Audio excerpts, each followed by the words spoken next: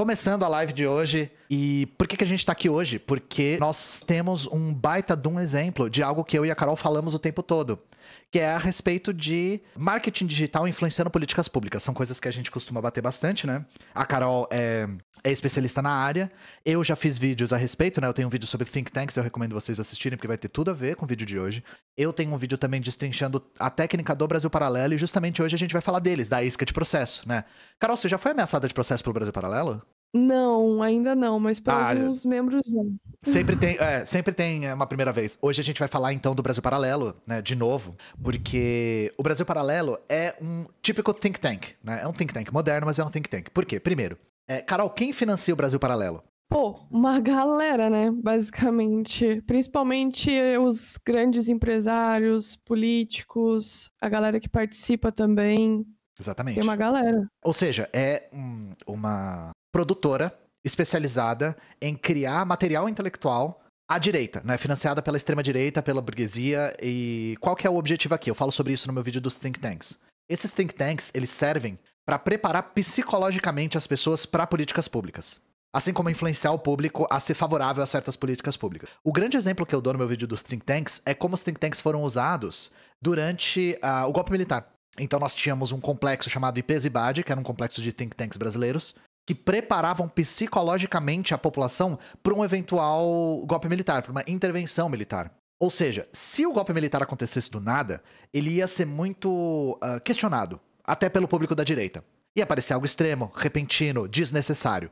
Então você precisa preparar psicologicamente a população para uma ruptura tão extrema. O que, que o Brasil Paralelo faz? Ele faz a mesma coisa com políticas públicas da extrema-direita da burguesia.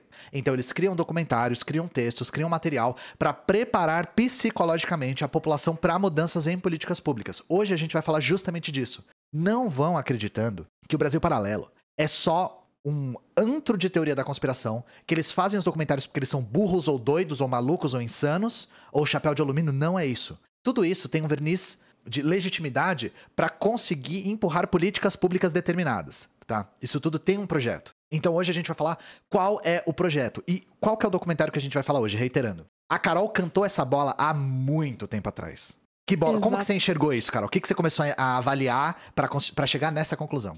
Foi realmente uma análise de conjuntura do que as próprias antifeministas e conservadores estavam fazendo já nos últimos tempos e que eles estavam testando o público. Vou dar um exemplo para vocês. Balão de ensaio, a gente chama, né? É, a gente teve o GC Lopes, que é um deputado estadual, chamando já o Marco Antônio para ouvir a versão dele da história.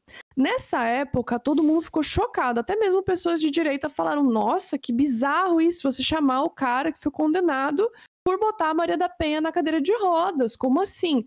Isso causou um choque nas pessoas, um espanto. Ali, eles já testaram para ver como que tava a galera em relação à versão do Marco Antônio. Ali a gente já conseguia entender que vinha um projeto, mas que eles ainda não tinham uma base consolidada. Eles não tinham ainda as pessoas alienadas o suficiente para engolir um projeto que envolvesse o Marco Antônio, envolvesse falsas denúncias, revogasse ou abolisse a Lei Maria da Penha, é, tirasse algumas coisas da lei ou até mesmo mudasse o nome da lei para que não fosse mais Maria da Penha. Então, para isso, para que eles pudessem criar projetos envolvendo esses assuntos, eles precisam necessariamente da propaganda. E aqui eu digo realmente o, a utilização das mídias, do bom audiovisual, para conseguir uma guerra de narrativas. Aqui entra também aquela clássica guerra cultural que eles falam tanto. Então, eles precisam levantar uma narrativa primeiro na cabeça das pessoas, para depois o projeto ser colocado em pauta, porque senão, vou, falar aqui para vocês. Imagina você ver um projeto agora na Câmara Federal falando sobre falsas denúncias de agressores no caso Maria da Penha, com o nome do Marco Antônio. Você pensaria, nossa, que bizarro. Mas depois de consumir um documentário de uma hora e 24 minutos falando sobre a versão do Marco Antônio, contada por vários entrevistados que possuem interesses nessa lei e também na versão do Marco Antônio, fica mais fácil de você digerir, não fica? É muito mais fácil você digerir algo depois que a propaganda já te vendeu aquilo. Então, a gente já fez uma live anteriormente aqui, é, analisando o texto corrido da Brasil Paralelo no blog deles. E nesse texto, a gente viu diversas estratégias de marketing sendo utilizadas e a gente já tinha pontuado que eles utilizam isso para vender coisas políticas, né? Eles utilizam o marketing digital bem feito e bem estratégico para políticas. Então, eles são basicamente essa parte por trás da política que faz com que a narrativa chegue na, nas pessoas antes mesmo dos políticos fazerem o projeto de lei. Nesse caso, a gente vê o documentário da Lei Maria da Penha, onde eles já no início falam que eles não têm nada contra a Lei Maria da Penha, que eles não têm nada contra a questão de pessoas terem sofrido violência doméstica, mas que eles estão em busca da verdade. Então, eles estão criando um documentário para que você encontre a verdade. Só que a verdade ela é manipulada. A verdade não é a verdade que está no processo, nos laudos, nas perícias, nas balísticas. O que eles trazem dentro da investigação paralela, onde está esse episódio, são teorias da conspiração baseadas na versão do agressor da Maria da Penha. E a gente vai falar um pouco disso, de como que você percebe que eles fazem basicamente uma propaganda da versão do Marco Antônio, ao invés de fazer realmente uma investigação dos fatos. Tanto que o nome Brasil Paralelo, Investigação Paralela, já te faz entender que é uma realidade paralela, que vai ser um assunto paralelo ao que é tratado nas vias de fato. Então é importante você em que a Brasil Paralelo ela é a propaganda. Ela não é a política em si, mas ela é a propaganda da política. E, e aí, antecipando um pouco aqui para quem está desatualizado acerca do que está acontecendo, né? Uh, Brasil Paralelo lançou um documentário questionando a versão da Maria da Penha, que é a pessoa que batiza uma das leis mais importantes, acho que do mundo, né, Carol? Dá pra gente dizer que é uma das leis mais importantes do mundo. Sim, é, é uma então, das mais completas, né? É. Se não a mais completa de violência doméstica. Então vamos começar pela parte é, séria, né? O que, que aconteceu? Na década de 80, uma mulher chamada Maria da Penha recebe um tiro nas costas do marido e ela fica tetraplégica. O marido tenta forjar um assalto. É, a versão dela não é acreditada até. Quantos anos depois, Carol? Mais de uma década depois. Na verdade, até interessante essa parte, porque desde o início o Marco Antônio tenta utilizar a tese do latrocínio, que é, é. o roubo seguido de morte. Só que isso não cola, e exatamente por não colar isso e começarem a encontrar outras coisas que poderiam estar tá linkando ele à tentativa de homicídio, é, eles já começam a achar que ele tinha tentado matar Maria da Penha. Só que ele é condenado, é, eles pedem recurso, daí depois ele é condenado novamente. Ele chega a cumprir pena, ele cumpre um ano dois, de Dois anos, ele cumpre dois. É, dois anos de regime fechado seis meses de semiaberto e um ano em liberdade. E daí, com isso, a Maria da Penha vai tentando buscar maneiras de que ele realmente ficasse preso e distante dela e das filhas, e que ela tivesse alguma maneira de justiça. Com isso, ela consegue contato com a OEA depois de lançar um livro. A partir disso, a OEA já vai entrar em contato com diversas outras instituições e depois o Brasil é condenado é, internacionalmente para que seja feita alguma coisa relacionada à violência doméstica no país. Porque estava muito em alta esse debate já de que não tinha uma punição adequada para os agressores e para que as vítimas de violência doméstica tivessem justiça. Então, dessa maneira, eles estavam tentando formular alguma lei, alguma coisa que aplacasse as violências domésticas que aconteciam. Porque talvez muita gente não saiba, mas a Lei Maria da Penha surge em 2006. 2006 é muito recente, é uma lei muito recente. Tanto que a violência psicológica só foi entrar em 2021. E antes disso, quando uma mulher ia denunciar violência doméstica ou algo que tinha acontecido com o filho também de violência doméstica, era considerado lesão corporal. E o cara não ficava preso ou distante, ou ela nem sequer podia ter uma medida protetiva, né? No caso, nenhuma possibilidade de ação efetiva em relação à violência doméstica de fato. Não existia sequer canal de denúncia, gente. Tipo, hoje nós podemos discar os 180 graças à existência da Lei Maria da Penha. Porque antes disso, ia denunciar a violência doméstica, você ia na delegacia, que não existia nem a delegacia da mulher ainda, você ia na delegacia comum denunciar uma lesão corporal. Então passava por um processo como se fosse uma briga de bar. Sabe quando você briga num bar e a galera se bate e tudo mais? Era como se a violência doméstica fosse aquilo e não resultado de uma violência intrafamiliar ou entre um relacionamento, entre as partes que tinha ali. E como se fosse uma lesão corporal simples.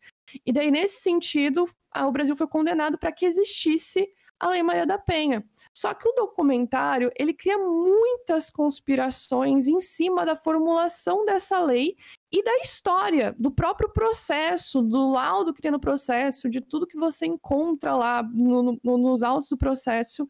Eles criam conspirações desde do livro da Maria da Penha, do laudo não ser verdadeiro, é, dos juízes não serem competentes, tipo, várias coisas eles vão conspirando para tentar justificar, sendo que demorou literalmente 20 anos para que o Marco Antônio fosse realmente condenado e a defesa dele não fizesse mais nenhum recurso, não tentasse mais a liberdade dele e tudo mais.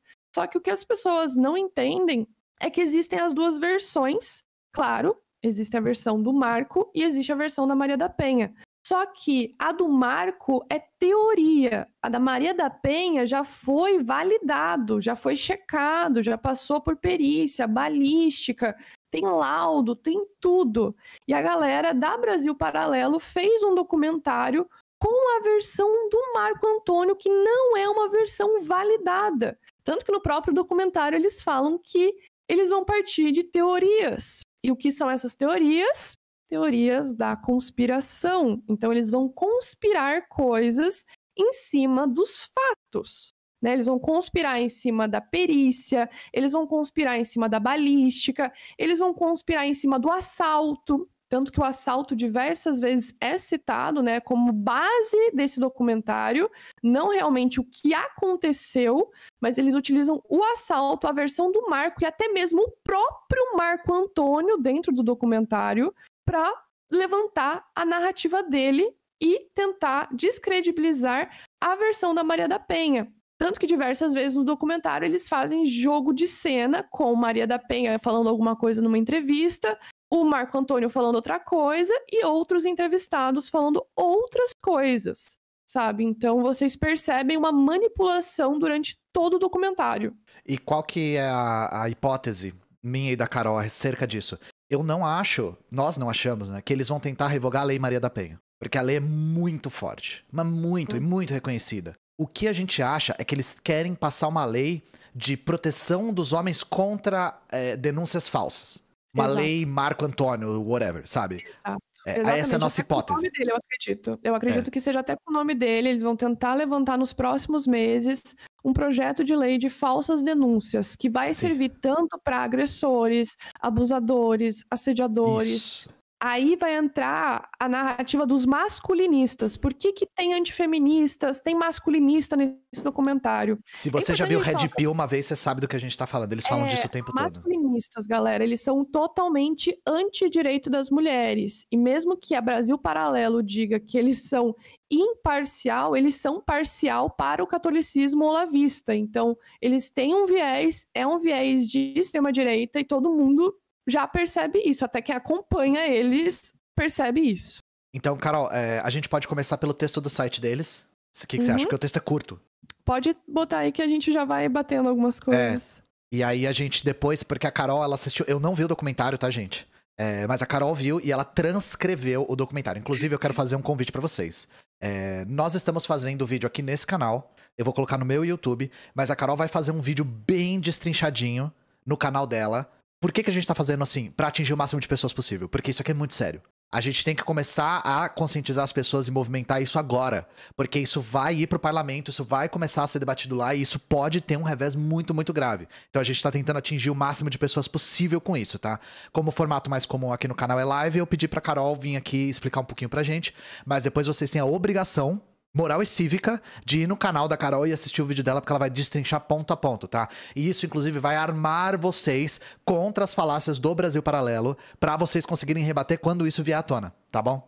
Vocês vão ver isso vir à tona, galera. Vocês vai. vão ver os tios de vocês falarem disso. Vocês vão ver o pai, a mãe falar disso, os irmãos. Se vocês têm familiares bolsonaristas, gente que tá nos grupos de WhatsApp, nos Telegrams, que, que vocês ainda têm contato, vocês vão ver muita gente falar: você viu a história da Maria da Penha? Você sabe realmente o que aconteceu? Porque o documentário ele te instiga a querer contar para as pessoas uma verdade que só você sabe. Então, isso é vocês vão ver isso total. acontecer. Essa coisa de você só saber uma verdade que só você sabe pega muito nessas coisas de seita, de extremismo, sabe? É, vocês, vocês sabem disso. Se vocês têm familiares bolsonaristas, eles enchem a boca para falar de verdades que só eles sabem. Que só eles sabem que a vacina é isso, que só eles sabem que o, 4, que o 5G é aquilo, que só eles sabem que a urna é assim, que só eles sabem, etc. Com a Maria da Penha vai ser a mesma coisa, tá? Você foi enganado esse tempo todo? Só eles ligam os pontos. Eles falam isso até no documentário. Um dos entrevistados fala: Ah, eu liguei os pontos depois de ver as coisas. Tipo, ligar os pontos é uma das coisas mais conspiracionistas que tem, realmente. A gente tem nome para isso, né? Cherry é. picking. A gente tem o nome cherry picking, que é você só pega o que é conveniente para sua narrativa e constrói uma constelação.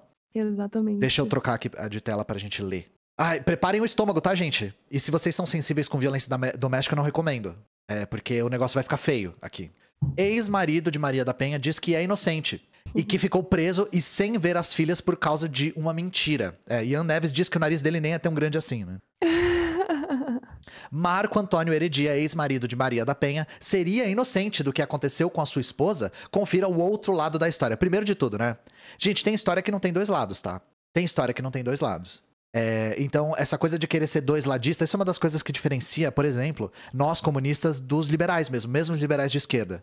Alguns liberais de esquerda defendem que nós devemos deixar todos exporem as suas versões. Nós da, do, da esquerda radical, nós comunistas acreditamos que tem pessoas que não têm o direito de se expressar, tá? Tipo, ah, não, Bolsonaro dá a sua versão acerca da, do, da pandemia. Não, não tem que dar a versão. Não tem, não tem que achar nada, sabe? Tem gente que não tem o direito de se expressar. Esse cara aqui tá mais do que provado que ele é um cara que não deveria estar tá se expressando. Que ele não deveria ter um palco, que ele não deveria ter voz. Ele tá mais do que condenado. E esse, aqui, esse cara é um morto-vivo. Ele tá andando sem. Ele tá fazendo hora extra já.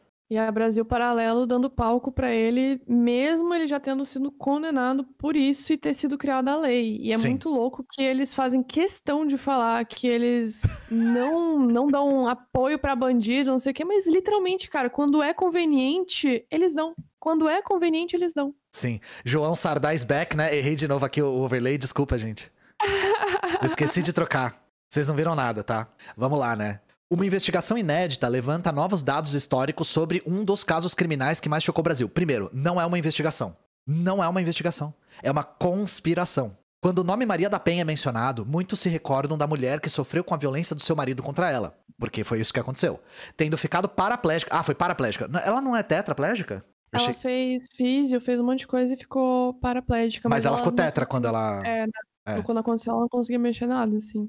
Uh, por causa de um tiro nas costas, tornou-se o símbolo de proteção às mulheres e empresta seu próprio nome à lei que protege as mulheres da violência doméstica. Não é só isso. Porque a lei ela é muito complexa. A lei não é só punitiva, gente. Não é só tipo, ah, o homem que cometeu violência doméstica vai levar cinco lapadas secas. Não é isso, sabe? A lei, ela, ela prevê uma série de coisas, inclusive educação da população, projetos públicos para prevenção. Não é só essa ideia, principalmente muito evocada pela direita, de ah, estuprador tem que sofrer cassação química, que é uma coisa de focar na punição do cara que já cometeu o crime. A Lei Maria da Penha ela tenta prevenir que isso sequer aconteça. Então, é, não vão achando que é, é uma lei simples, assim, tá, gente? Ah, é, nossa, é óbvio, não pode matar sua mulher. Como essa lei já não existia antes? Não é isso. Ela é super, super completa, inclusive internacionalmente reconhecida como tal. Seu caso, é, seu caso é conhecido e já foi amplamente divulgado pelo próprio site do Instituto Maria da Penha e descrito em um livro escrito por ela Sobrevivi Posso Contar. A série de investigação criminal da Brasil Paralelo investiga e apresenta teorias, entre aspas, da conspiração, né? Eu tô colocando, entre parênteses, né? Da conspiração, sobre casos criminais de repercussão nacional, como exemplo da Maria da Penha. Que curioso, né, Carol? São sempre casos que pegam o cara que é agressor, que é o homem violento, que é a, a pessoa. É, assim, que já é unanimemente reconhecida como sendo criminosa e fala assim: hum, será que é mesmo? Será que esse cara é realmente bateu na esposa? Bruno. Já pensou eles pegarem o goleiro é? Bruno pra querer contar a versão dele da história e chamar ele para contar a versão é. dele? Fizeram isso com a Mari Ferrer, né? Fizeram isso com. No caso da Marielle, tem uma conspiração. E, e não sei do caso da Marielle, eu não assisti, mas a conspiração é que ela tinha vínculo com crime, é isso? Que essa é a conspiração, é, as conspirações sabia? são sempre envolvendo é. isso. São sempre as teorias que as pessoas têm sem base nenhuma. É. Só com o que elas acham. Ao tomar conhecimento de uma polêmica na história que deu origem à Lei Maria da Penha, os pesquisadores ouviram mais do que uma das partes. Obtiveram acesso ao processo e entrevistaram quem teve envolvimento com o caso. Não são pesquisadores, gente. Não. Agora não são eu tenho uma- pesquisadores. um ponto já para falar pra galera. Eles não entrevistaram pessoas envolvidas no caso. Se você assiste o documentário, eles entrevistaram quatro pessoas. Eles entrevistaram o Marco Antônio, que é o acusado de agressão. Eles Neutro. entrevistaram a Pietra Bertolazzi, que foi representada como uma peça teatral no documentário, como a bela recatada e do lar, a mãe conservadora. E ela está sendo processada pelo Instituto Maria da Penha por mentir sobre a história da Maria da Penha. Então, ela é uma das entrevistadas. Não só ela, o doutor Otacílio Guimarães de Paula, que representa a autoridade de um advogado. Esse advogado já tentou ser político, né? Já tentou ser vereador, não conseguiu. E daí agora ele está tentando conseguir clientes a partir do documentário da Maria da Penha e mostrar uma certa autoridade. Já o outro entrevistado é o Ricardo Ventura, que é aquele psicanalista que analisa a linguagem corporal, que até o Metaforando já falou que ele é pseudociência, mesmo o Metaforando sendo pseudociência também. A gente tá na Só rapa do classe. tacho do, da- do alçapão no fundo do poço, né? E daí, o último entrevistado, mas não menos importante, Alexandre Paiva, que representa o homem injustiçado por ter sido acusado de alienação parental. E ele também tem medida protetiva da ex-mulher, mas ninguém sabe por que, que ele tem uma medida protetiva, mas ele tem interesses em cima do caso, porque ele quer ver as filhas e ele não quer mais essa medida protetiva que a ex-mulher colocou nele. Então, são quatro pessoas muito interessadas nesse documentário politicamente, profissionalmente e até mesmo em relações familiares, como no caso do Alexandre Paiva, né, que quer utilizar isso para que exista uma lei de falsa denúncia para que ele possa tentar recorrer no caso da, da ex-mulher dele.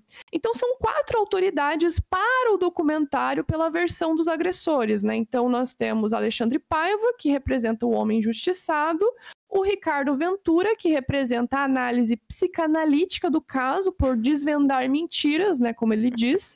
O Otacílio Guimarães, que é o advogado que representa a autoridade no ramo do direito, que vai falar de leis e do processo.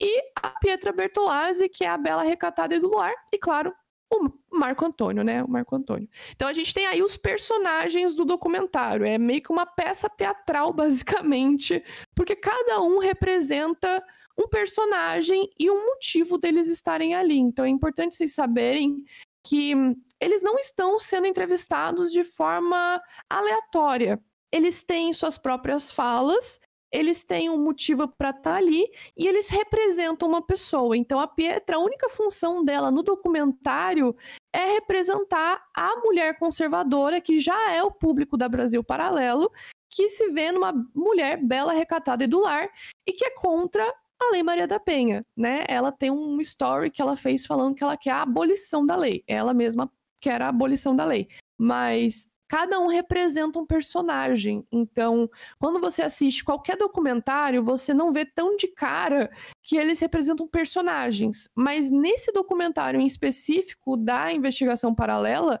não é natural, não é espontâneo, sabe? Não é uma coisa que você está entrevistando uma pessoa, liga a câmera e entrevistou.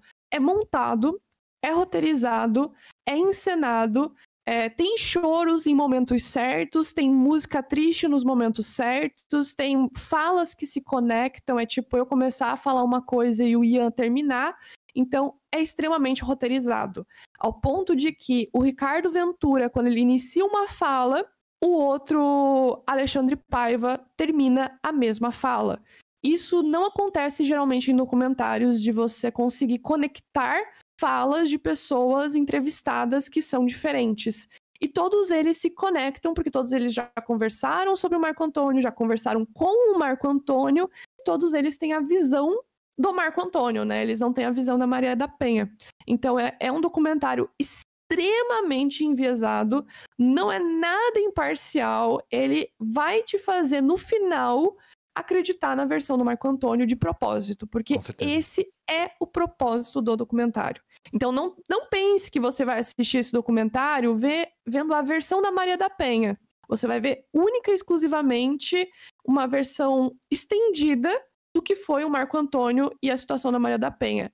Para vocês terem uma ideia, o documentário, um terço, fala brevemente do que está no Instituto Maria da Penha, não fala o que está dentro do livro Sobrevivi Posso Contar, que tem partes extremamente chocantes e violentas sobre o Marco Antônio, e foca exclusivamente no processo do Marco Antônio, dois terços do documentário. Então, um terço, eles falam brevemente sobre a Lei Maria da Penha, sobre o que, que ela aplaca, sobre um pouquinho da história dela, como que foi o processo, e dois terços do documentário você vê a versão do Marco Antônio. Então você começa vendo a versão da Maria da Penha, você termina vendo a versão do Marco Antônio muito mais do que a da Maria da Penha, assim, já nem lembra mais o que, que ele falou da, da Maria da Penha, e engole durante o documentário inteiro o que eles estão falando da versão do Marco Antônio. Então, já esse resumo para vocês da galerinha que aparece nesse documentário, que é uma galerinha, ó, curva de rio.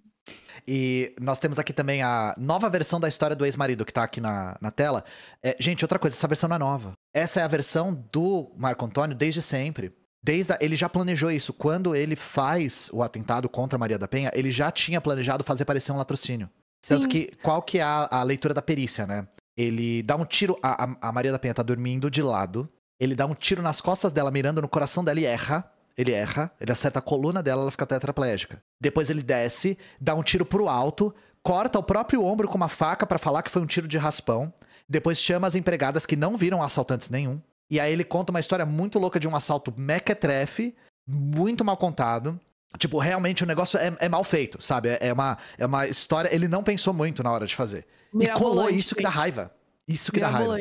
É mirabolante, não exato. Vocês já viram algum filme do Tarantino mas parece que fizeram uma versão de Rambo, escrita e roteirizada e dirigida pelo Tarantino.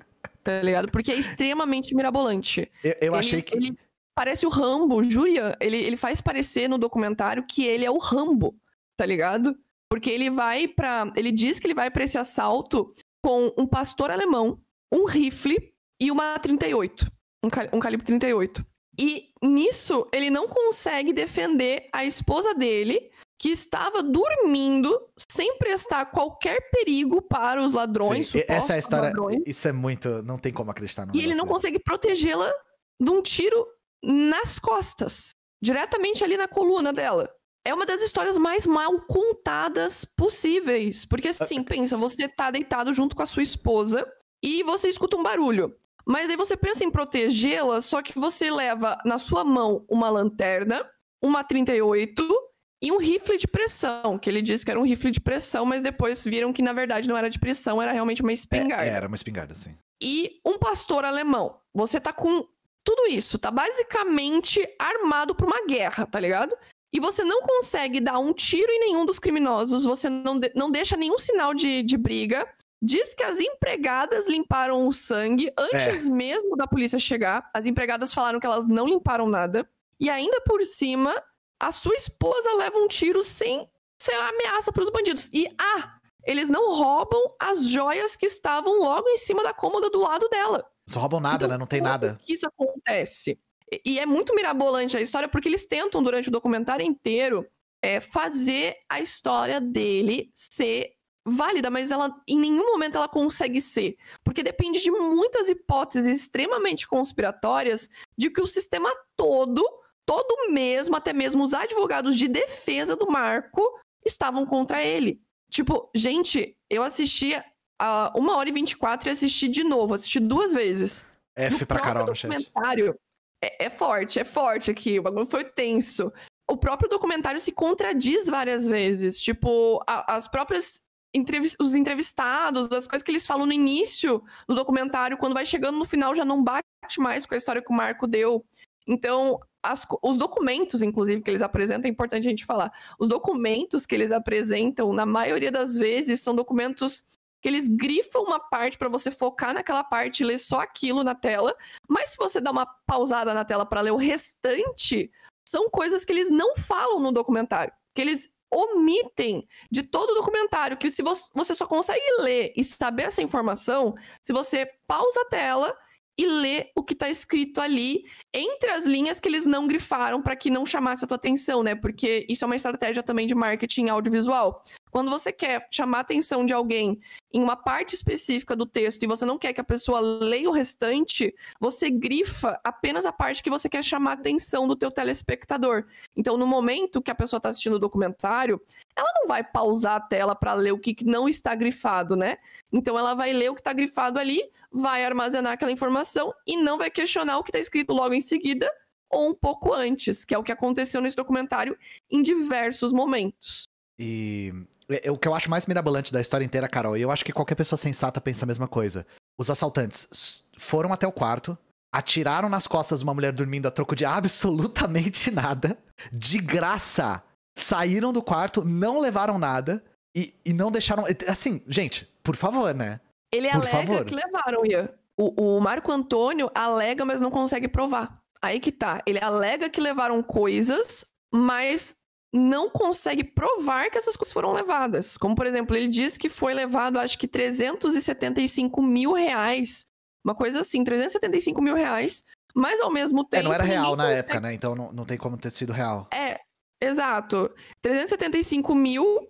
E daí, naque... daí eles dizem que o Marco Antônio não tinha condições financeiras, que ele era muito pobre, que ele. E, tipo, as coisas se contradizem demais, porque. Uhum ou ele tinha muito dinheiro guardado, que eles tinham interesse em roubar o Marco Antônio, ou ele não tinha nada, sabe? Ele realmente era pobre e não tinha condições para ser visto ou visado por alguma coisa que tinha ali. Em diversos momentos do documentário, eles se contradizem, tipo, no tanto que ele tinha de dinheiro, no que, que foi roubado, o que tá no processo.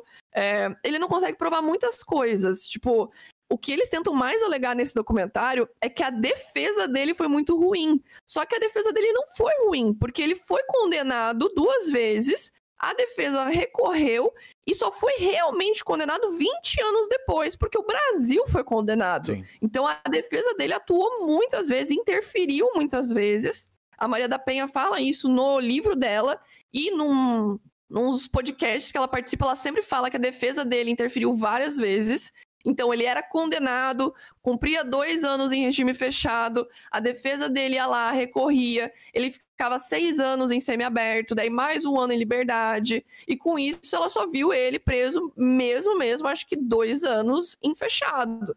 Mas para conseguir distanciamento de filha, disso tudo, precisou de muita coisa. Tanto que uma coisa que eles não falam no documentário, que é o lado oculto do documentário da Brasil Paralelo, é o motivo do Marco Antônio não poder ficar por, perto das filhas. Filhas que é. é uma coisa que ele tenta omitir durante todo o documentário do porquê que o juiz deu a guarda para Maria da Penha. Mas o juiz alega que o Marco Antônio maltratava as filhas. O juiz comprovou isso e deu a guarda para Maria da Penha. Então, é uma coisa que eles não citam no documentário. E quando o Marco Antônio se dispõe a falar sobre as filhas, ele diz que elas começaram a acreditar em fantasias e histórias sobre ele que elas nunca viveram. Então, não apenas todo mundo tá conspirando contra o Marco Antônio, mas até mesmo supostamente as filhas, sabe? Tipo, as filhas não lembram do que era de verdade, as filhas não lembram das agressões do pai de verdade. Então, olha a história que ele tenta emplacar no documentário inteiro para dizer que ele é a vítima da situação, ao ponto de negar o júri, a perícia, a balística, as filhas, os advogados de defesa, o laudo, é, tudo que tinha possível para a defesa fazer, fez. Mas eles alegam que tudo tem uma conspiração absurda em cima para que o Marco Antônio tenha sido injustiçado, mesmo depois de tanto tempo demorar para que ele tenha realmente sido condenado, né? E, bom, por que, que ele ia querer matar a esposa, né? Ele pede para ela assinar um seguro de vida logo antes, né? Insuspeito isso, né, Carol? E ele era muito violento. Isso é uma coisa que é, é confirmada pelas empregadas, pelas filhas e pela Maria da Penha. E, todo mundo, caso, galera. Todo mundo. A, família dela, a família dela fala que ele era extremamente violento, que tinha que. Exato. A irmã dela acho que tinha que ficar vigiando para ver se ele não ia fazer nada. Era um negócio super grave. E aí eu, eu dou um exemplo para vocês do que tá no livro dela, né? É, quando a Maria da Penha fica acho que ela vai fazer fisioterapia, alguma coisa assim, e as filhas têm que ficar com ele. E aí ele fala assim: Ah, porque comigo as meninas nunca mais fizeram xixi na cama. E ele ficava muito puto com, com ela, com as crianças sendo crianças, chorando, fazendo xixi na cama e tal. E aí depois ela descobriu que ele simplesmente não dava água para as filhas. Sim. Ele não dava água, ele não dava suco depois de manhã as meninas não podiam beber nada. Aí você imagina como a saúde delas ficou, né? Esse é só um elemento de como era a crueldade, não era só bater nas filhos, sabe? Era um nível pouco a mais, assim, para você ver o nível do cara, né? Sim, e as pessoas, muitas vezes, quando vão escutar as histórias sobre o caso da Maria da Penha, eles não entendem o que, que era a violência doméstica que acontecia. Porque o Marco, ele batia nas crianças na frente da Maria da Penha. Sim. Então, a forma de violência é como você ser uma mãe e você vê o teu marido espancando os filhos na tua frente para não bater em ti, sabe? E tipo te ameaçar com os teus filhos, com o que você mais ama. E por isso que quando ela fala que ela sofreu violência psicológica, muitas pessoas não entendem, que acham que é violência da cabeça dela, mas não é isso. A violência psicológica é esse terror psicológico que ele fazia dentro de casa. As empregadas, inclusive, a Rita e a outra, que eu não me lembro o nome agora, as duas alegam e testemunham que ele era extremamente agressivo com as crianças. E que tanto no dia do assalto, né, que ele diz que foi um assalto, mas na verdade foi a tentativa de homicídio, é, elas ficaram até com receio de sair do quarto que elas estavam com as crianças para ver o que tinha acontecido, porque tinham medo do Marco. E não só isso, em diversos momentos do livro da Maria da Penha, ela fala sobre as violências que, eles que ele fazia as crianças, palmadas que ele dava, é, quando elas esqueciam de dar um beijo nele, ele batia é, nas crianças. Ele exigia afeto, isso era muito cruel, sabe? É. Ele era cruel até mesmo para elas darem afeto para ele. Então, tipo, imagina, você ser a mãe e você tá vivenciando tudo isso e o cara ainda não te bateu, mas tudo que ele fez foi violência e terror psicológico contigo com as tuas filhas. Então, outras coisas que ele fazia era pegar, por exemplo, tá na hora da janta ou de alguma coisa, se o cardápio não era variado, ele pegava o prato e tacava na parede. Ele quebrava os pratos. Ele era violento, ele não deixava as crianças nem tomarem água. Quando ele ia dar uma água para Maria da Penha, quando ela já estava paraplégica, era água da bica. Ele tirava, tipo, de vaso, de sujo de planta para dar água para ela. Então, tipo, ele, ele tentou eletrocutar ela depois cuidado. também. Exato, ele não tinha nenhum cuidado. E as pessoas, quando vão ver a, a violência doméstica, elas acham que a violência é única e exclusivamente agressão física. Mas não, a violência doméstica ela também é violência sexual, violência moral, patrimonial, sexual. Então, por isso que a Maria da Penha, a lei Maria da Penha é tão completa e aplaca até mesmo violência de pais contra filhas meninas. Porque foi isso que aconteceu no caso da Maria da Penha.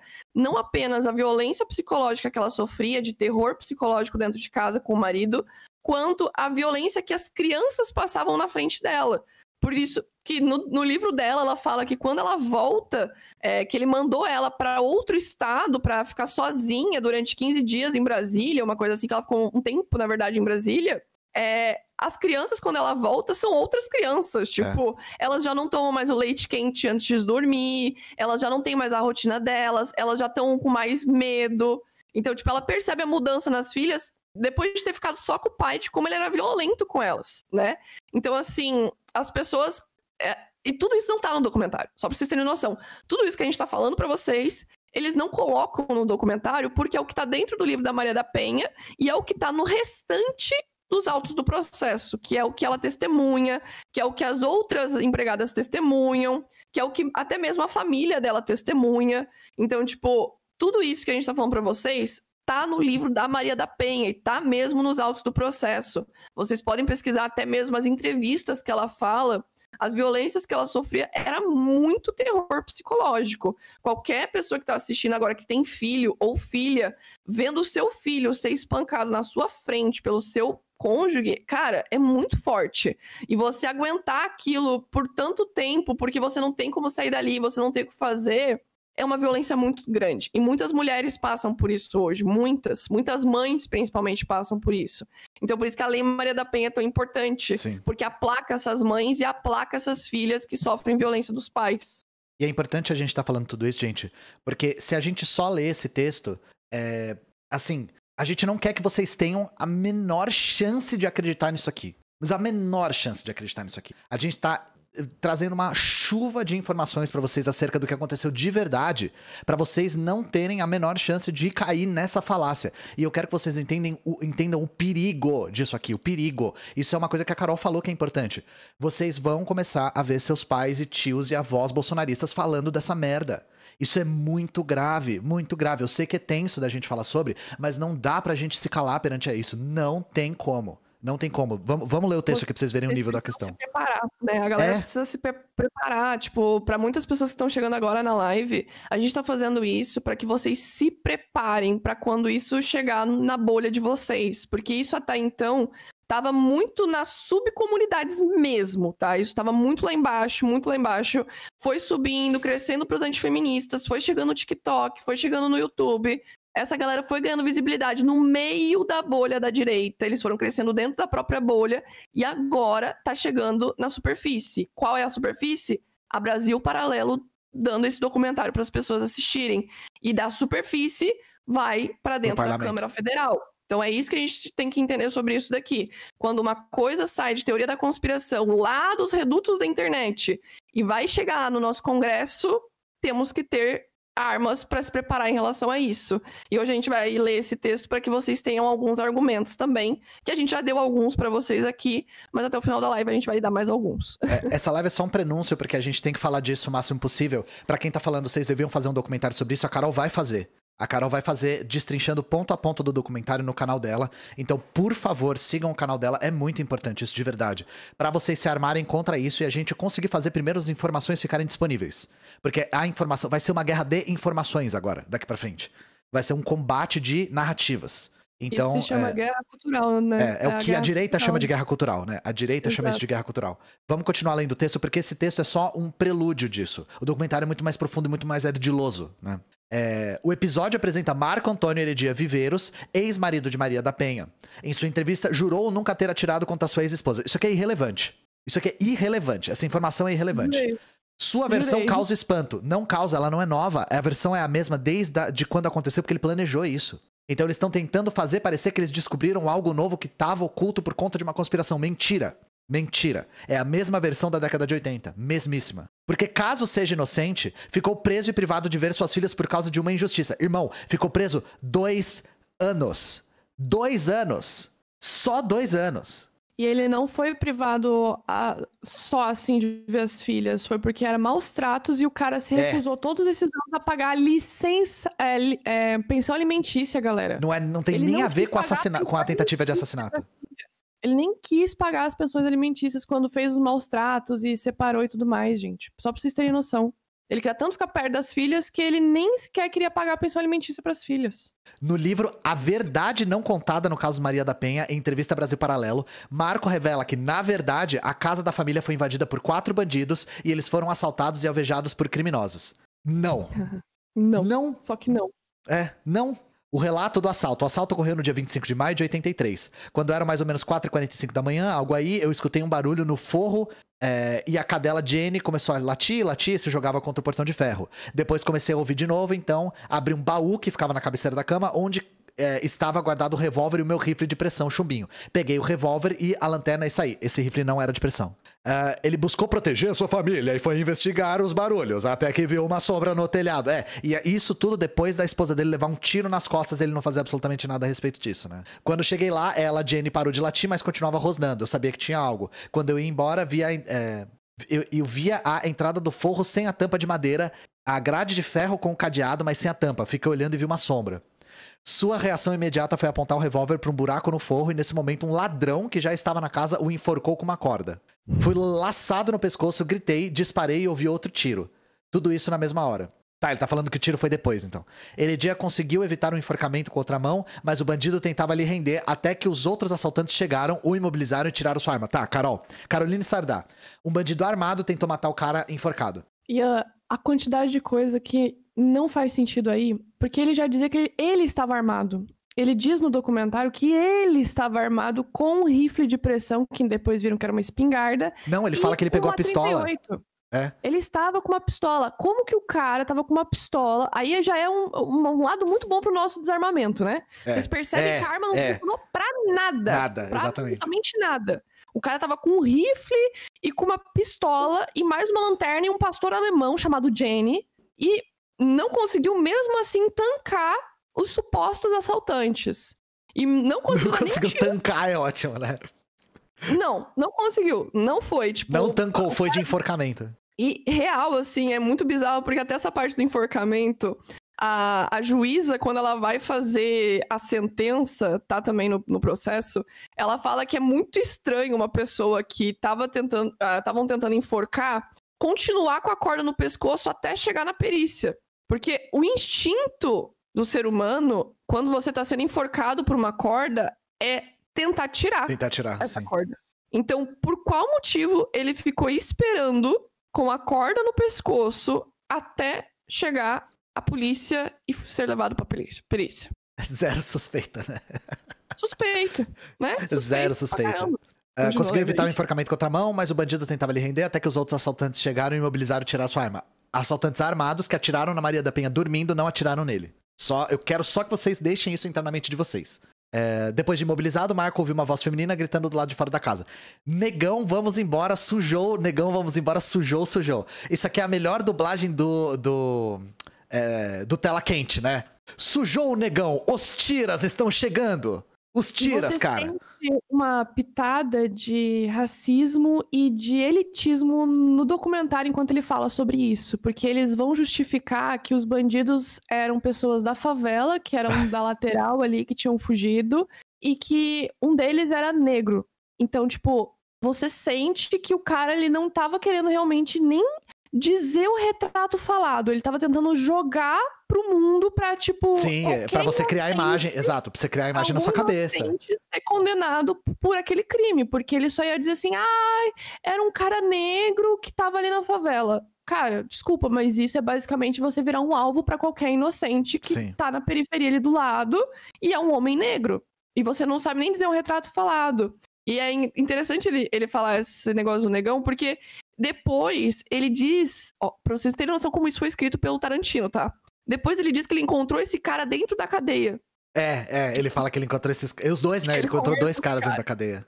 Não, e ele, o que eu acho mais engraçado do relato dele, Carol, é que ele fala que. É, eu acho que tem isso aqui nesse texto. Que ele fala. Vamos ver, vamos ver. É, eu falei. É, não, vamos, vamos chegar lá, porque tem uma parte que é muito engraçada. É muito, e é muito o cara, tipo, o melhor roteiro, o roteiro mais fraco do Tarantino, tá ligado? A, após isso, o Marco é desarmado. Ele já foi desarmado quatro vezes, né?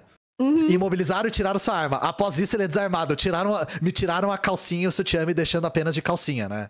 É, e sofre um tiro a queima-roupa no ombro direito. Esse tiro aqui é o que a família diz que ele se cortou com uma faca Pra, e depois falou assim: ah, foi um tiro de raspão aqui. Ai, meu Deus, ai, meu ombro. Ai, meu ombro. Ai, quanta dor. Ai, e, e, tipo, ficou fazendo um drama do caralho. Mas, tipo, quem via ele trocando o curativo falava: mano, isso aí parece muito um negócio de faca. Isso aí é o que a família dela fala, tá? A família da Maria a da Penha. A irmã dela, inclusive. É. A irmã ou a mãe que cuida dele depois, quando ela tá, ela tá paraplégica, é, ele fica na casa da família dela. Então, na casa da família, ele é cuidado pela mãe que faz os, as limpezas do ferimento. E foi ela que achou o ferimento um pouco estranho. É. Tem também uma questão que ele tinha uma arma, que era um 38, que era uma Taurus.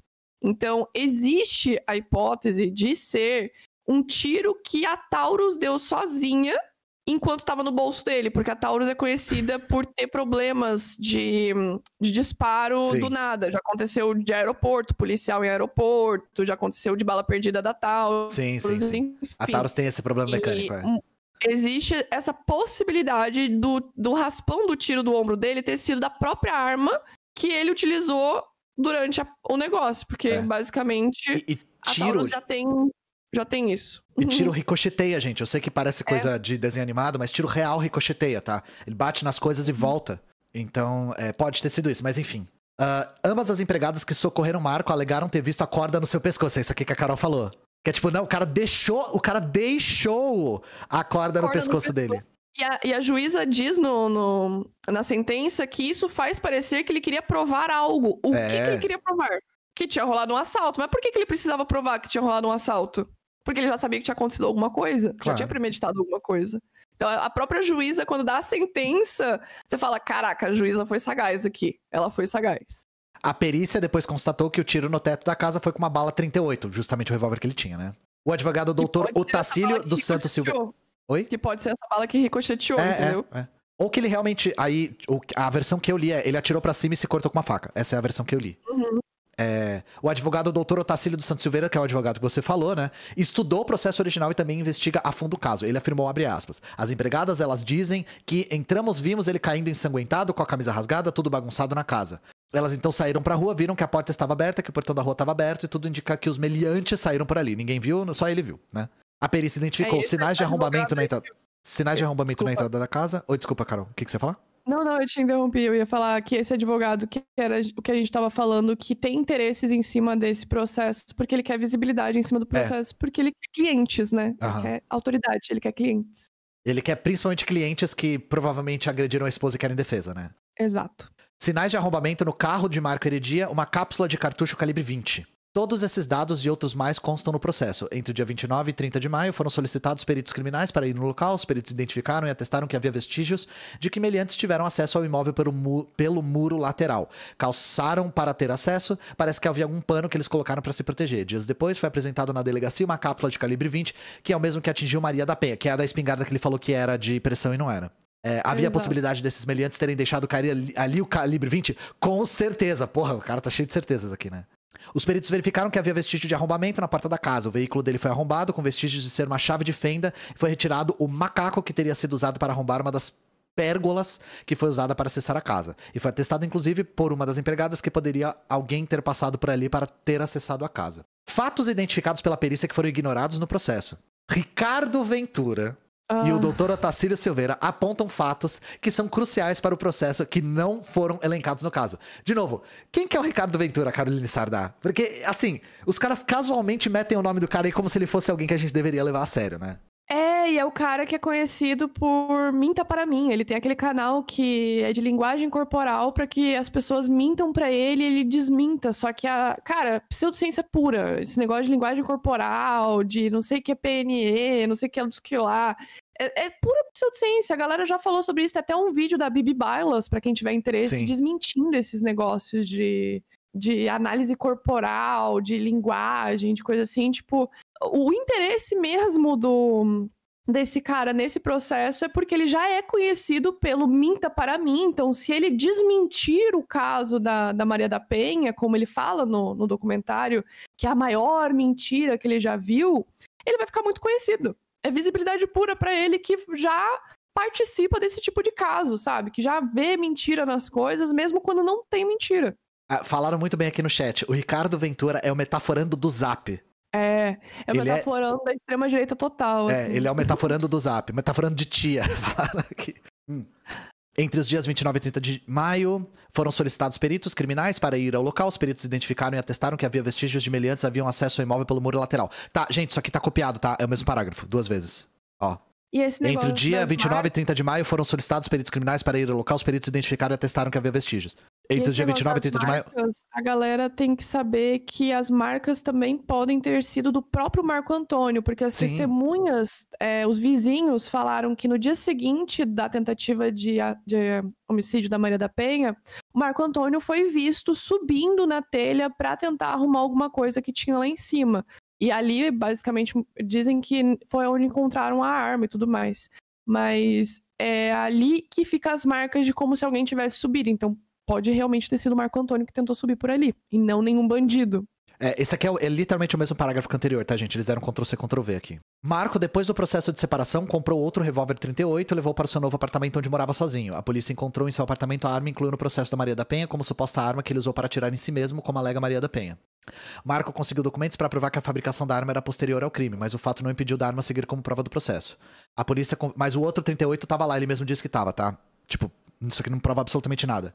Ele mesmo disse que no dia ele abriu um baú e pegou um 38. A polícia confisca esse 38 que ele comprou depois dos fatos como a arma que ele usou para dar um tiro nele mesmo. A arma é adicionada no processo e ela continua nele no início ao fim. Lembrando, o Marco conseguiu um documento da perícia da própria Taurus dizendo que essa arma foi fabricada depois do assalto. Para o advogado, essas irregularidades eram suficientes para anular o processo da Maria da Penha contra Marco dia. Provavelmente eles acharam uma irregularidade, uma, que não muda porra nenhuma da história, pra superestimar ela e falar: nossa, tá vendo? Olha o nível de fraude que tava acontecendo aqui. Olha que absurdo isso, é ato ilegal, isso é impossível porque a arma sequer existia, sequer tinha sido fabricada. É um erro na pronúncia. De novo, isso é irrelevante. Ele mesmo disse que ele estava armado com 38 no dia do assalto, do assalto, entre aspas, porque ele pegou dentro do baú. Não muda porra nenhuma isso aqui. E perceba que o texto está baseado na narrativa do assalto. Apenas É. do assalto, apenas É. da versão do Marco. Então, você lendo o texto, você já percebe que o tempo inteiro te puxa pra achar que foi um assalto, mas na verdade foi uma tentativa de homicídio. Uma E você não faz a menor ideia do que a Maria da Penha diz, porque o texto não fala. Exa- exatamente. Você nem sabe o que, que aconteceu no processo, porque a versão que está sendo contada é a versão do Marco Antônio. É, Marco chegou até a identificar os assaltantes que invadiram a sua casa. Dois assal... Essa parte é muito engraçada. Dois assaltantes que causaram medo até na polícia. Gente, chat. Chat. Agora a coisa vai ficar, vai ficar fanfic. Assim, se vocês eram da, da geração fanfic, você era a geração fanfic? Você lia fanfic na internet, Carol? Sim, sim. Eu tenho certeza que as fanfics que você lia eram melhor que isso aqui. Marco revela um fato que não foi mencionado no processo que sofreu é, de Maria da Penha. Sinceramente, ainda bem que ele não mencionou, porque isso aqui é muito cringe. No dia seguinte do assalto, a polícia levou fotos dos criminosos e ele identificou dois deles. Primeiro, como, Carol? No dia seguinte do assalto, levou fotos como? Foto de quem, velho?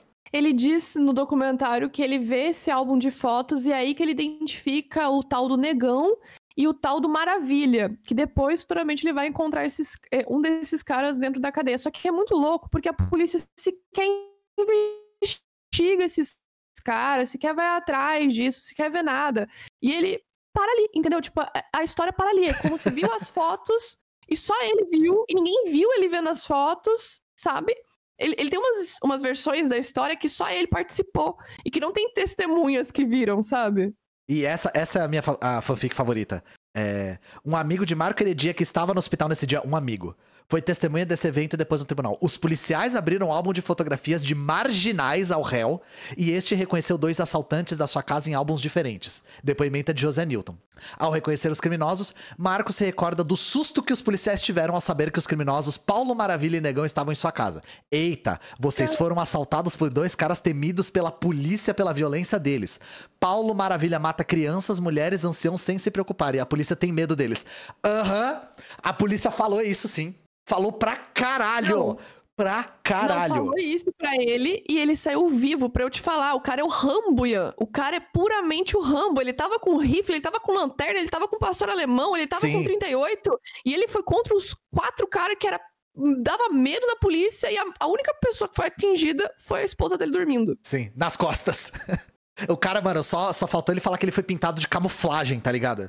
É, é, assim, essa, essa é a minha fanfic favorita. A minha fanfic do Eita, bicho, esses assaltantes são barra pesada mesmo. Eles dão medo até nos tiras. Meu Deus, era Paulo Maravilha e Negão. Esses dois meliantes são muito perigosos. Cara, o nome deles. É, eu, eu é não foda. tanco o nome É deles. foda, o nome é difícil de tancar.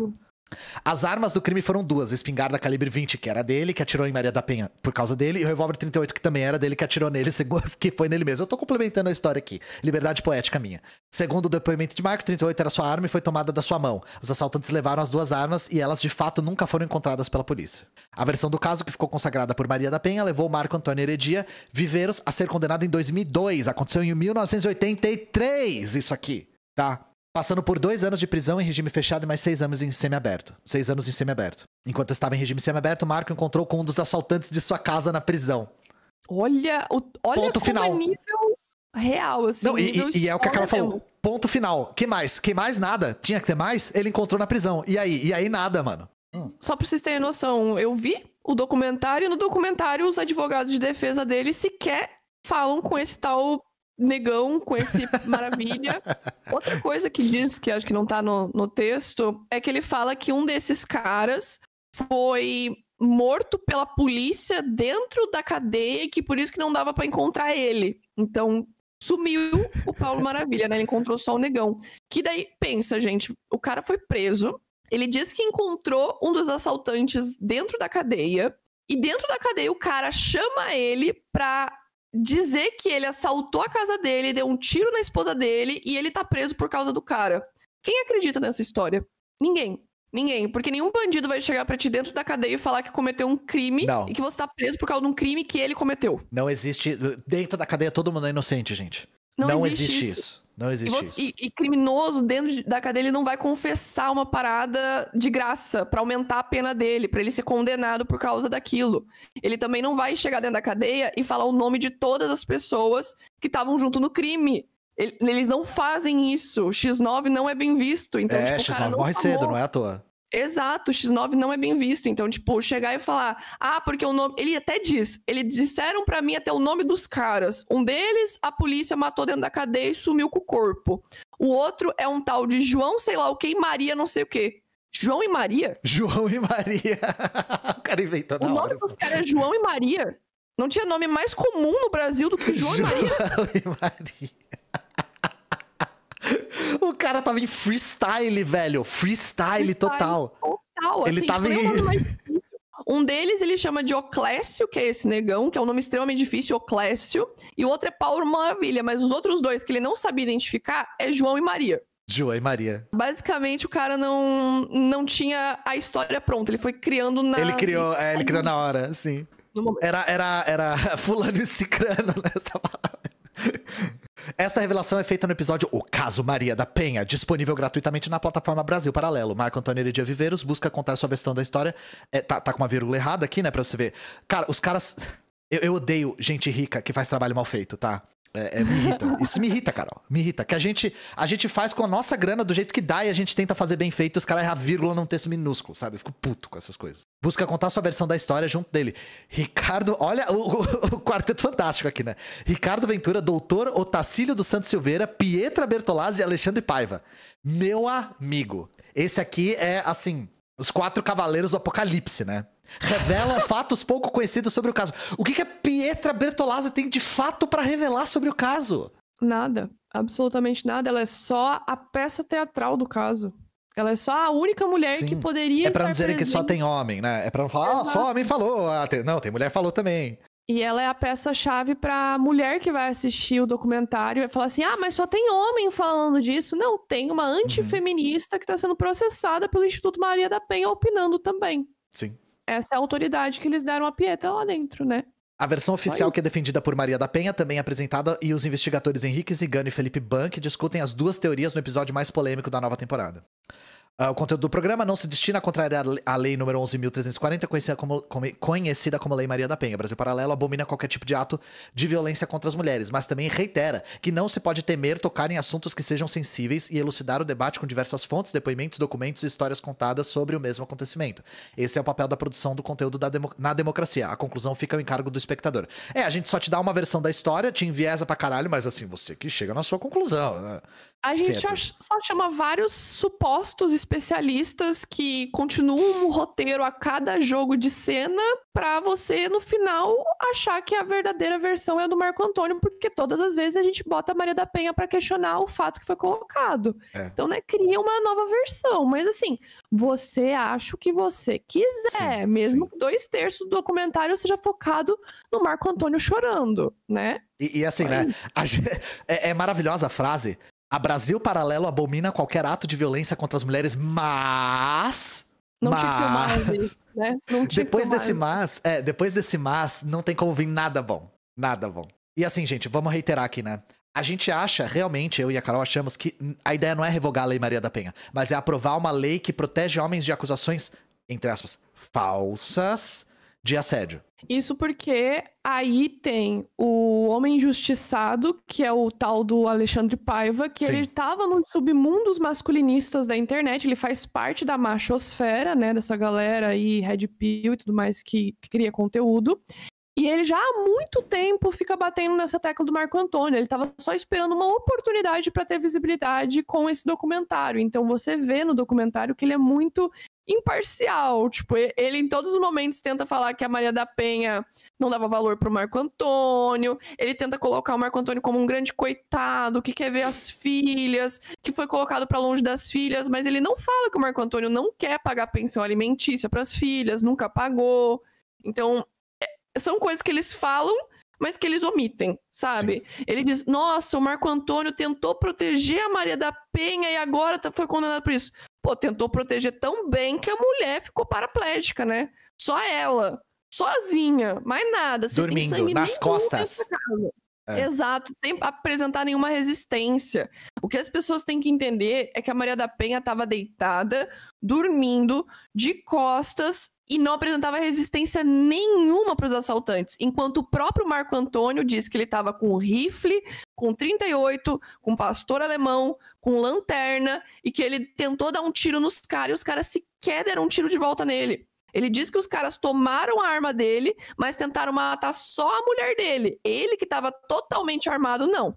Então, a história é mirabolante. Por isso que na época é, ele demorou muito tempo para ser preso mesmo, porque era uma história extremamente mirabolante e começaram achando que era um assalto. Só começaram achando que era um assalto por causa dele, porque ele testemunhou dizendo que tinha quatro assaltantes, que ele tinha feito isso e aquilo com a corda, criando toda uma história mirabolante. E a polícia inicia o processo pensando que é uma tentativa de latrocínio, roubo seguido de morte. Mas eles não encontram é, nada que tenha faltado na casa, as empregadas não encontram nada que faltou. A, o dinheiro que ele diz que sumiu não nem sabiam de onde que tinha esse dinheiro, não tinha nenhuma prova que existia esse dinheiro. E muitas coisas que ele vai falando não tem pessoas que comprovem. Então, quando ele diz, ah, a polícia me trouxe um álbum de fotos para eu identificar, papapá, papapá, ninguém viu isso acontecendo. E não faz sentido a polícia identificar os dois caras e jogar de lado isso, porque eles estavam até então tentando investigar um latrocínio. Então, não fazia sentido nada disso para a versão do Marco ser uma versão possível, muitas coisas têm que ser conspiradas, galera. Desde a balística, é, a gente tem que ter. Vou resumir para vocês para ser bem didático.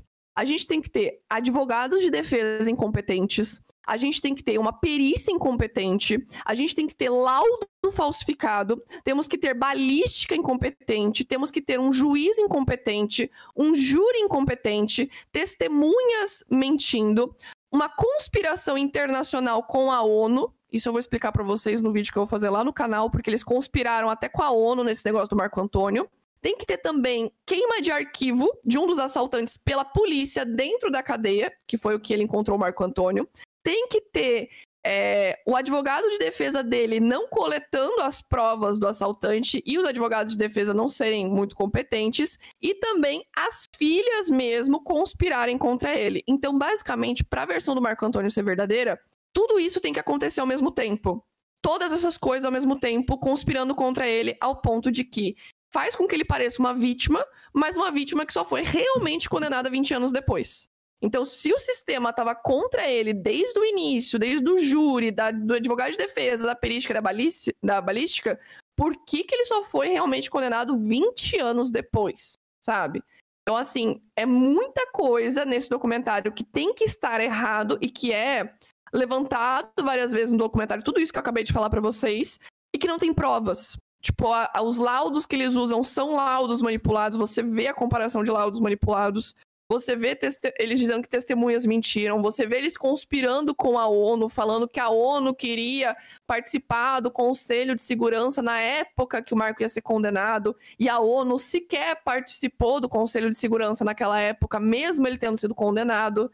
Então, muitos pontos soltos, sabe? Mas você percebe no documentário inteiro que a intenção é um projeto político, é uma narrativa única e exclusivamente criada para ser uma propaganda do que as pessoas vão ver nos próximos meses no Congresso. Então a gente vai ver uma lei de falsa acusação, provavelmente com o nome do Marco Antônio. Se preparem em relação a isso, porque em janeiro, no dia 30 de janeiro, se eu não me engano, eu já estava analisando as antifeministas, o que estava sendo levantado, eles falando que estavam participando de documentários, a Pietra mesmo falando que tinha participado de um documentário, e com isso eu fui vendo e pensei, vem um documentário da Brasil Paralelo aí sobre a Maria da Penha. Falei disso no Twitter, eles foram lá e pegaram meu tweet e usaram para divulgar o documentário da Maria da Penha. Então, sim, gente, eu tô ligada no que tá acontecendo na estratégia da Brasil Paralelo. E esse documentário, quando lançou, eu já tinha lido o livro da Maria da Penha, já tinha visto todos os podcasts que ela participou, já tinha visto todos os conteúdos do Alexandre Paiva, já tinha visto todos os conteúdos do Marco Antônio e fiz comparativos assim como eles fizeram. E a Brasil Paralelo tem aí intenção política. Dá para perceber a intenção política de cara com o que eles fizeram nesse documentário, porque no final do documentário eles instigam o público falando: "Você gosta de problema, né?" E o que que é esse gosta de problema? O público que vai assistir esse documentário vai começar criar treta na internet com isso. As antifeministas já estão divulgando, as influencers da Brasil Paralelo já estão fazendo a divulgação do link, já estão fazendo as pessoas consumirem isso, as bolhas da direita já estão falando sobre isso todas ao mesmo tempo. Então, essa narrativa está começando a colar com muitas pessoas. E isso não é brincadeira, é muita gente, tá? Quando eu fui ver a, a biblioteca de anúncios da Brasil Paralelo, eu acho que se você quiser colocar a galera vai gostar de ver. É muito anúncio que tá no ar. Que a galera tem que ter uma noção também do que tá no ar sobre isso daí. Porque, gente, vocês sabem que anúncio é um negócio caro no Facebook, né? A meta é caro para você colocar anúncios no ar. Agora vocês pensem uma produtora que tem mais de 30, 30 anúncios 50 mil resultados. Maria da Penha. E de cada anúncio, Olha aí a quantidade. Olha o tanto de anúncio. O Brasil Paralelo é o maior anunciante do Facebook no Brasil de longe. E é de longe, é tipo mais que o dobro do segundo. Olha o tanto de e anúncio, a galera gente. vai ficar chocada que tem até influencer do True Crime, bem conhecida no TikTok, que fez publicidade para eles. A Maria Euze, se eu não me engano. Algumas pessoas conheço, conhecem. Não, não gosto de True Crime. E ela fez um, um vídeo falando, tá, Agora eu vou contar para vocês a versão da, do marido da Maria da Penha. E assim, é chocante, porque eles pegam influencers bem do nicho do true crime, eles pegam pessoas que vão, de certa maneira, criar o conteúdo para eles. Isso tudo é anúncio, galera. É, isso, tudo, tudo é, isso tudo que eu tô mostrando é anúncio. Pega um anúncio desses, um anúncio tem 19 anúncios a mais. Então, cada um para um público diferente. Lançados em é julho de 2023. Olha isso. Exato. Olha quanto tempo que eles estão criando essa narrativa na internet. E isso bate com o que você estava falando Ian, das, das big techs. Completamente. Me digam em que momento que a meta vai querer regulamentar Brasil Paralelo com isso daí. Exatamente. E não é não uma vai. questão de ideologia, é uma questão de grana, gente. É isso grana, é dinheiro. É dinheiro. Tudo que vocês estão vendo aí é dinheiro sendo jogado em anúncio. Sim. Dinheiro, dinheiro, dinheiro. E agora eu vou jogar uma coisa para vocês ficarem curiosos. Por que, que a Brasil Paralelo tá gastando tanto dinheiro nesses anúncios se o documentário você consegue assistir de graça. Eles estão gastando milhares de reais e eles não estão ganhando nada com a galera assistindo o documentário. Eles são financiados pela burguesia, gente. Pelo alto empresariado. Puramente projeto político. Sim. Eles precisam que a narrativa colhe. Então aí eles não estão vendendo o serviço de streaming deles. Eles estão vendendo a narrativa que é o documentário da Maria da Penha. Por isso que eles dão acesso gratuito. Você deixa o seu e-mail. Não façam isso, tá? Não entrem para deixar o e-mail de vocês, porque vocês vão entrar no funil deles. É. E vocês vão começar a receber muita teoria da conspiração, vocês vão ver um monte de coisa fora da casinha, assim, e vocês vão se desconectar completamente da realidade. Tipo, de ver essas paradas. Eu digo isso porque às vezes eu entro, né, dou uma olhadinha e saio um pouco pra ter o meu choque de realidade de novo, porque realmente é uma coisa que você vai. E se você é, é, não é muito tem perigoso. É, é, crítico, você vai no lodo. Se você não tem senso crítico, você vai totalmente no lodo. É, é, é, é, é, tipo, dá muita angústia porque eles têm muito poder de narrativa e de persuasão e de te tragar para dentro de uma zona da, da, da pós-verdade quase, assim, é, é, muito... Dá angústia porque a gente tá lutando contra um monstro, assim, contra um negócio absurdo. Dinheiro puro. É. é. é isso que eu gostaria também de falar para as pessoas. Eu falo isso sempre quando eu sou convidado em lives. As pessoas acham que a esquerda dá palco para a direita. Isso Mentira. daqui, gente, eu discordo também disso. Vocês Agora a gente está comprovando para vocês, mostrando aqui os anúncios. Isso daqui é dinheiro. Isso é puramente dinheiro. O Ícaro de Carvalho, que é ex-marqueteiro da Brasil Paralelo, falou que eles gostam de dinheiro e que eles têm dinheiro e eles investem cada vez mais o dinheiro deles nas narrativas que são beneficentes a eles. Então, quando vocês pensarem que, ah, vocês estão assistindo aqui o negócio da Brasil Paralelo e vocês estão reagindo, cara, Brasil Paralelo deve estar tá gastando mais de 10, 20, 30 mil reais por dia com esses anúncios. Então você vai receber isso em algum momento. Você vai ser o público da Brasil Paralelo em algum momento. Se não você, a sua mãe, o seu pai, a sua tia, a sua irmã, a sua prima, até seu namorado, sua namorada, sua família, seu colega de trabalho. Porque a Brasil Paralelo vai chegar nessas pessoas, porque eles estão pagando por isso. Eles não precisam da gente de esquerda reagindo, analisando para serem vistos. Eles pagam para serem vistos. E é para isso que a gente precisa urgente regulamentar essas plataformas. Porque essa galera gasta um dinheiro do caralho com anúncios para alienar vocês com narrativas que influenciam na política brasileira. Então, a época lá da Covid, da pandemia, da, da, da de, de, tudo isso, já era uma base do que tá rolando agora. A gente já viu acontecer isso antes. Eles mexeram na política antes. Eles fizeram a galera acreditar né, que a, a Covid vinha da China e que 5G, papapá, papapá. A mesma coisa está rolando agora.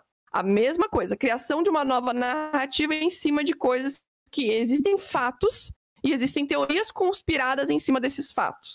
E são essas teorias que eles apresentam em todos os episódios de investigação paralela e na maioria dos conteúdos da Brasil Paralelo, porque não por pouco o nome é Brasil Paralelo, porque não é exatamente o fato que tá ali, é a teoria que se cria em cima daquilo, as conspirações. É tipo falar, Michael Jackson morreu e as pessoas começarem a conspirar que ele ainda tá vivo.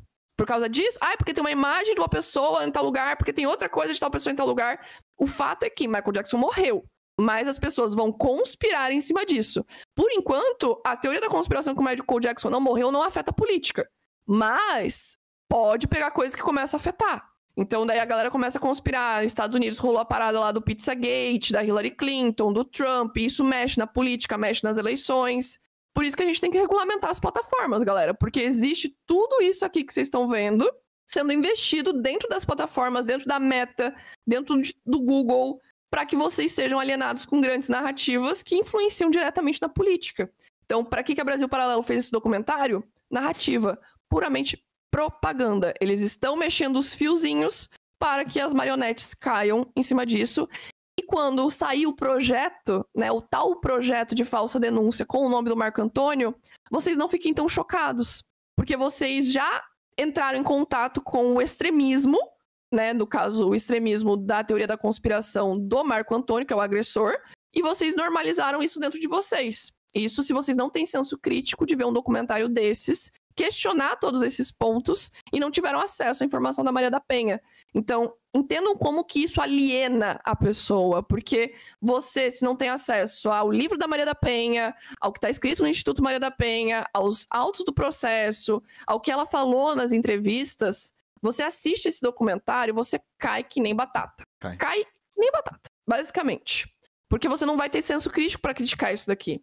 É por isso que é importante entender que o senso crítico é muito importante quando você vai consumir qualquer coisa da galera da extrema direita, porque é assim que eles alienam as pessoas no WhatsApp, no Telegram. Porque essas pessoas não têm muito senso crítico desenvolvido. A galera é anti-intelectual, é contra a escola, é contra a educação. Então, eles são contra mesmo a existência de um senso crítico. Por isso que eles criam documentários assim, que são fáceis de fazer uma lavagem cerebral na sua cabeça.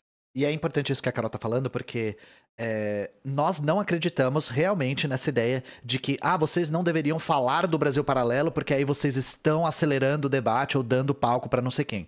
Nosso argumento, ele é material. Material o alcance que essas plataformas têm, o alcance que o Nicolas Ferreira tem, a gente nunca vai conseguir elevar com o nosso alcance. O que a gente nunca. não pode fazer de maneira nenhuma é deixar essas pessoas falando sozinhas. Deixar essas pessoas incólumes. A gente precisa armar pelo menos as nossas bases, o nosso público, os nossos militantes do nosso lado, com os contra-argumentos. No mínimo, é o mínimo que a gente tem que fazer. Porque ninguém aqui desse chat acredita na Brasil Paralelo, gente. Ninguém Exato. que está assistindo a gente acredita na Brasil Paralelo. O que a gente está fazendo aqui é informando vocês com os argumentos que rebatem a narrativa do Brasil Paralelo. E argumentos sólidos, argumentos concisos, baseados em evidências. É o mínimo que a gente precisa fazer. Não digo nem pode, a gente precisa fazer. Não existe dar palco para quem tá em cima, a gente só dá palco para quem tá embaixo. E você nunca vai ver eu e a Carol fazendo um react de canal reaça de 10 subscribers. Nunca. A gente não vai fazer isso. A gente bate na narrativa de quem é grande. E é impossível eu e a Carol darmos palco pro deputado mais votado do país. Pro maior uhum. anunciante do Facebook. O nosso argumento é material. Ele não é moral. Do tipo, ah, vocês não deveriam estar tá falando isso. Não é que nem o Morgan Freeman que fala que se a gente parar de falar de racismo, ele vai embora. A gente não acredita nesse tipo de argumento moralizante, tá? Nosso argumento é sempre material. Vou trocar de câmera Até aqui. Existe essa de narrativas que um lado tem uma opinião, outro lado tem uma opinião, Não e a é. gente vê que a galera que tem dinheiro, a galera do da Brasil Paralelo tem condições de fazer a narrativa deles serem ouvida, tipo, em todos os lugares. Como vocês viram ali dos anúncios, são muitos anúncios ao mesmo tempo para vários públicos, em vários formatos, em formato carrossel, em formato de vídeo, em cortes, em coisa. Então, em algum momento, isso vai chegar na bolha da família de vocês, da galera que vocês conhecem, da bolha da direita já está. Então, a gente estava até fazendo uma live na última semana com a Camila Galete no meu perfil falando sobre antifeminismo e feminismo liberal, e a gente entrou nessa questão da investigação da Maria da Penha e esse documentário. E no exato momento que a gente estava falando sobre a estratégia da Brasil Paralelo, Sim eles estavam fazendo já a estratégia massificada da informação. O que é essa estratégia massificada? Você pega vários influenciadores da direita, da bolha da direita, que são influenciadores que têm uma certa autoridade com seus públicos, que têm uma grande audiência, e você insere o produto da Brasil Paralelo ali dentro. Então você dá um acesso gratuito, você coloca um link, a pessoa recebe um link, um acesso. Eu falei sobre isso no meu vídeo. Depois eu, eu porque Exato. eu dou exemplos, eu mostro como é que eles fazem.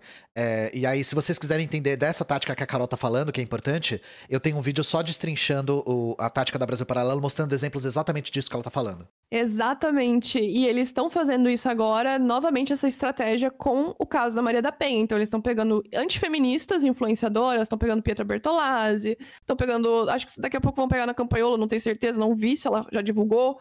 Já pegaram uma feminista cristã, já pegaram umas antifeministas menores. Então, eles vão criando essa bolha de informação que parece que todo mundo que você acompanha tá falando a mesma coisa.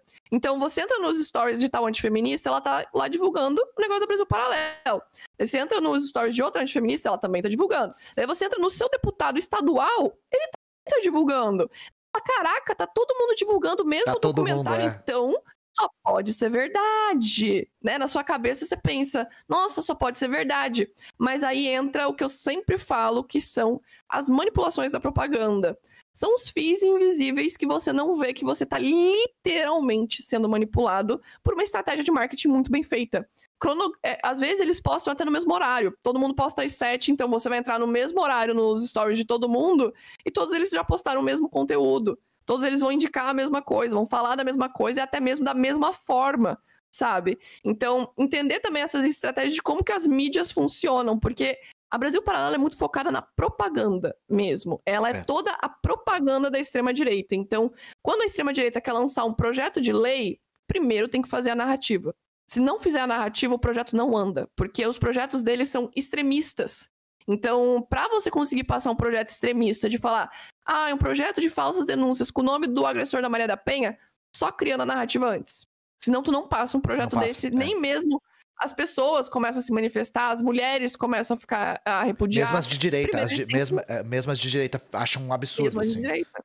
Porque, assim, as de direita, elas vão repudiar também, porque elas sofrem muita violência doméstica dentro de casa. Pra caralho. A, a Lei Maria da Penha aplaca todo mundo. Então, pensa, os, os homens de direita, muitas vezes, são muito violentos.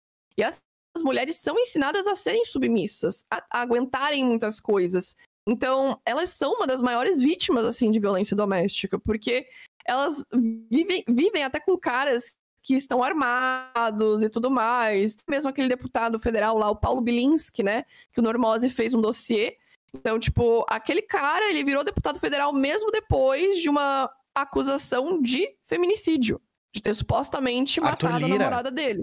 O Arthur Lira também, né? cara. O Arthur Lira foi. É, foi. Eu não sei se ele foi acusado eu não sei se ele foi condenado por agressão contra a mulher e tentativa de estupro contra a mulher, ou estupro contra a mulher, uma coisa assim. O Arthur Lira não devia nem ter sido candidato a deputado, quiçá presidente da Câmara, sabe? O Arthur Lira é um exemplo, gente. É que eu não consigo lembrar direito da história. Mas é, é só um exemplo do, do que a Carol tá falando, sabe? Sim, e a galera precisa entender que, tipo, a gente às vezes não dá tanta moral para essas propagandas da extrema-direita, mas são elas que influenciam diretamente nas nossas políticas.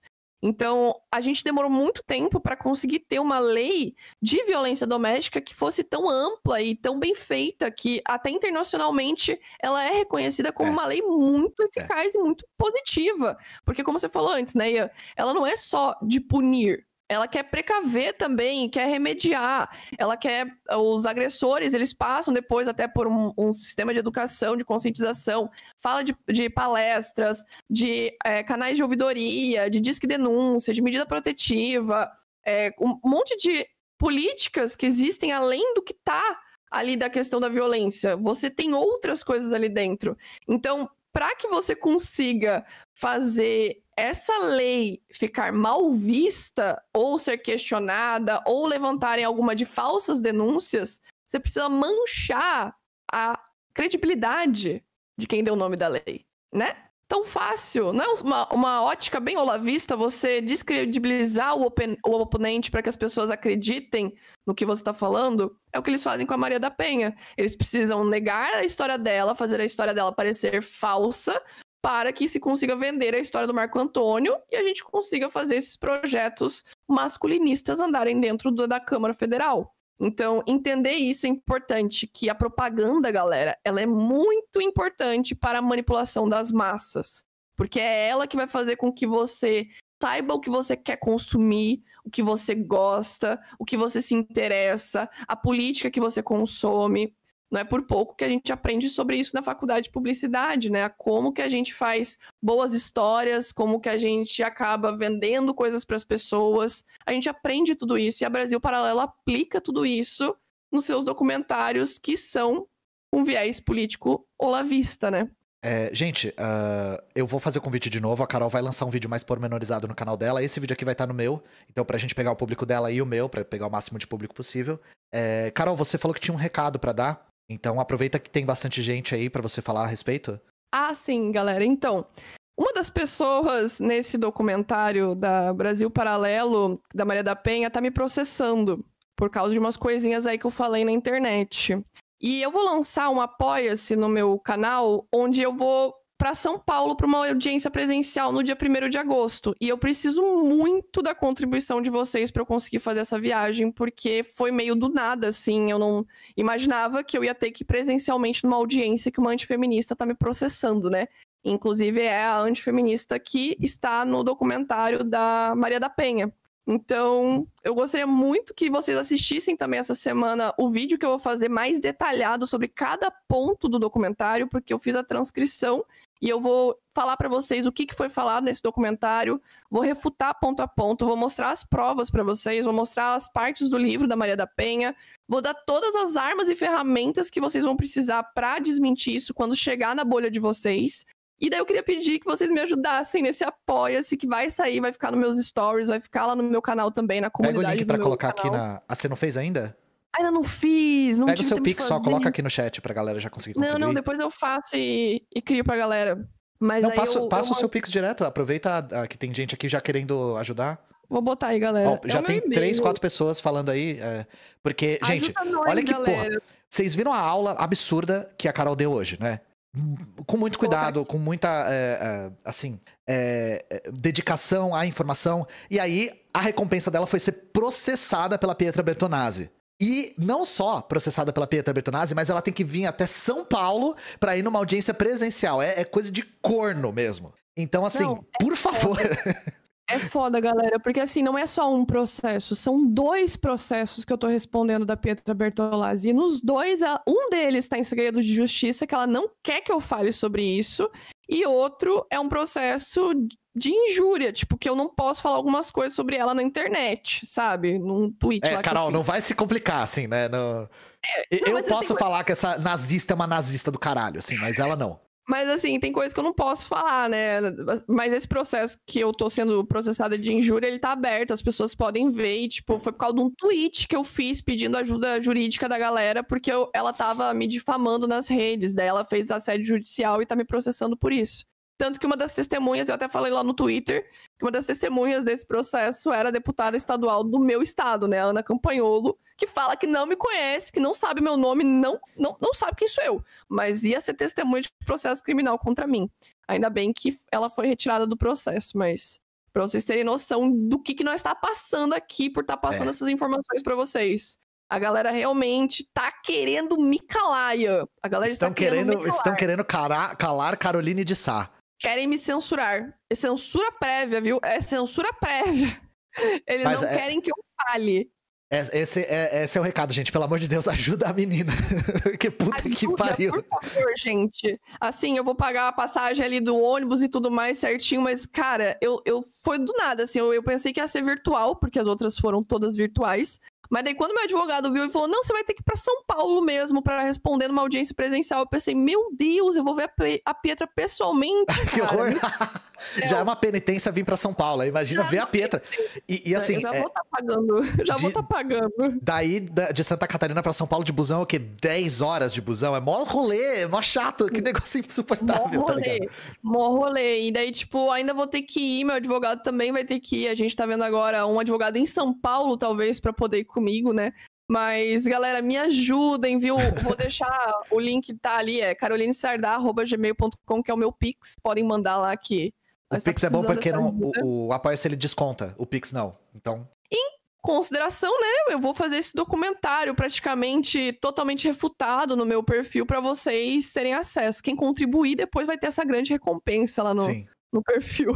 É isso, gente. Um beijo no coração de vocês. Deem dinheiro pra Carol, por favor.